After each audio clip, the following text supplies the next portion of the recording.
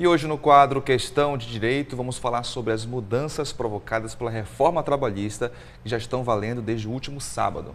Como prometido, estamos aqui no estúdio com o advogado Guilherme Brasil, que vai responder às nossas dúvidas. Bom dia, obrigada Bom pela visita. Bom, Bom dia, dia. Bom dia, Márcio. Começamos com a pergunta do André Marques, lá do 40 Horas Ananindeua. Muito obrigada, André, pela sua participação conosco. É uma pergunta bem geral. Ele quer saber o seguinte: qual o maior impacto da reforma trabalhista para o trabalhador? O maior impacto, pelo que eu enxergo, da reforma trabalhista para o trabalhador é que existe uma mudança. Hoje, o acordado vale mais do que o legislado. Antigamente, antes da reforma, valia o que estava previsto na CLT. E o acordo coletivo só, só vinha cobrir o que fosse mais benéfico. Agora não. Sendo acordado, mesmo que seja é, é, abaixo do, do- do previsto na CLT, vale o que foi acordado a- a- entre acordo coletivo de empregadores e empregados. Perfeito. Tem uma pergunta aqui de um telespectador lá de Salinas. Obrigado pela sua participação. Não disse o nome, mas disse que é concursado e quer saber se essa mudança, as mudanças mudam alguma coisa em relação a concursados. No caso, ele diz que o contrato dele é, informa que são 40 horas semanais de trabalho. É, por ser concursado, certamente ele deve ser um funcionário estatutário. Por ser estatutário, ele, ele é regido por lei própria, então não é abrangido pela reforma da, da, da consolidação das leis do trabalho. Apenas os chamados seletistas. Apenas né? os chamados seletistas. Perfeito. Temos a pergunta agora do Beto Frota. Obrigada, Beto, pela sua participação. Na reforma trabalhista, ele quer saber o seguinte: como fica a questão do pagamento da ação caso o trabalhador perca a ação? E ele também quer saber o seguinte: como evitar eh, advogados mal intencionados que, mesmo sabendo que a causa é perdida, induzem o trabalhador a entrar com a ação? Excelente pergunta. A reforma trabalhista trouxe a possibilidade do, do empregado, se derrotado na ação, pagar honorários, honorários advocatícios, a parte contrária, e as custas processuais. Antigamente não, o, o- funcionário era isento, o empregado era isento. Hoje não, ele corre esse risco. Então a sugestão que eu dou a ele é que escolha muito bem o profissional que ele vai entrar na justiça. Muito bem, tem uma outra pergunta aqui de uma telespectadora que não disse o nome, mas ela quer saber a respeito das férias. Ela tem como opção eh, tirar todos os 30 dias ou pode parcelar conforme essa nova legislação? É, as férias têm uma novidade. Ela pode hoje ser parcelada em até três vezes, né?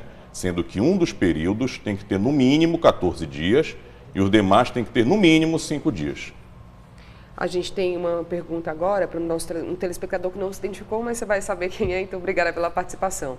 Ele diz que trabalha de vigia à noite, de carteira assinada, um dia sim, um dia não. Ou seja, 15 dias por mês. Ele quer saber o seguinte, que com a nova, com a nova regra, ele vai receber o salário integral ou não? Ele trabalha Bom. 15 dias por mês, resumindo. É, ele saindo do, do contrato de trabalho parcial, que são 30 horas semanais, hoje, antigamente eram 25 horas, ele deve receber sim um salário integral da categoria.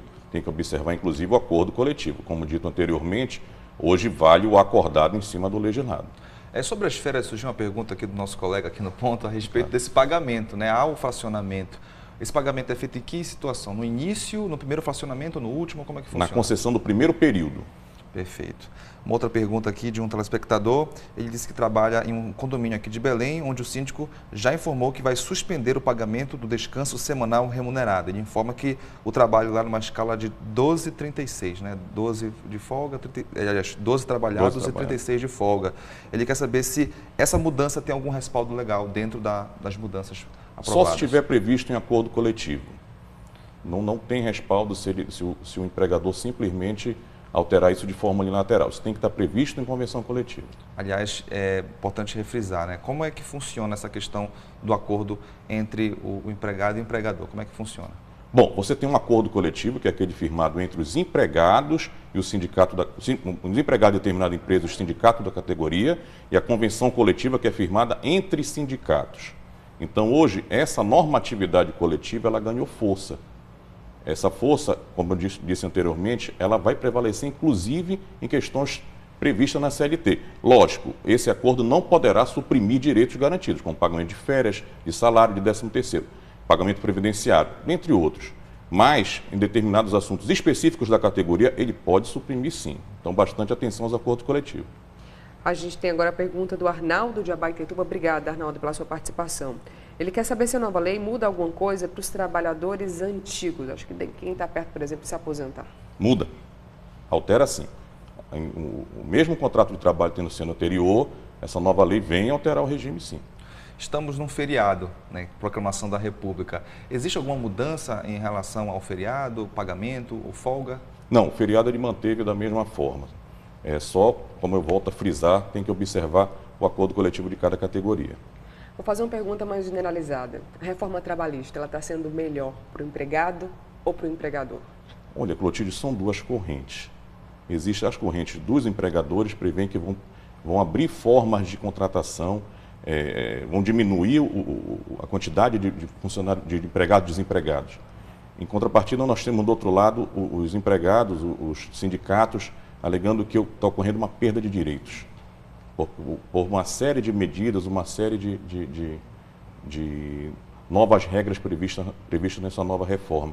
Então, está um empate. O que nos resta agora é aguardar o decorrer dos anos, o decorrer da, da, das experiências, para saber se realmente ela foi prejudicial ou não ao trabalhador. Precisamos aguardar para realmente analisar os impactos, digamos assim. Certamente. Por enquanto, atenção, principalmente para o trabalhador em relação aos acordos. Certamente. Doutor Guilherme, mais uma vez, muito obrigado pela sua participação aqui no Bom Dia Pará. Lembrando que a gente vai continuar com esse assunto na próxima quarta-feira, aqui no quadro Questão de Direito Final. Ainda há muitas dúvidas a respeito dessas mudanças. Com certeza. Estou à disposição. Muito obrigado. Muito obrigada pela visita. Bom feriado. Bom feriado. Obrigado.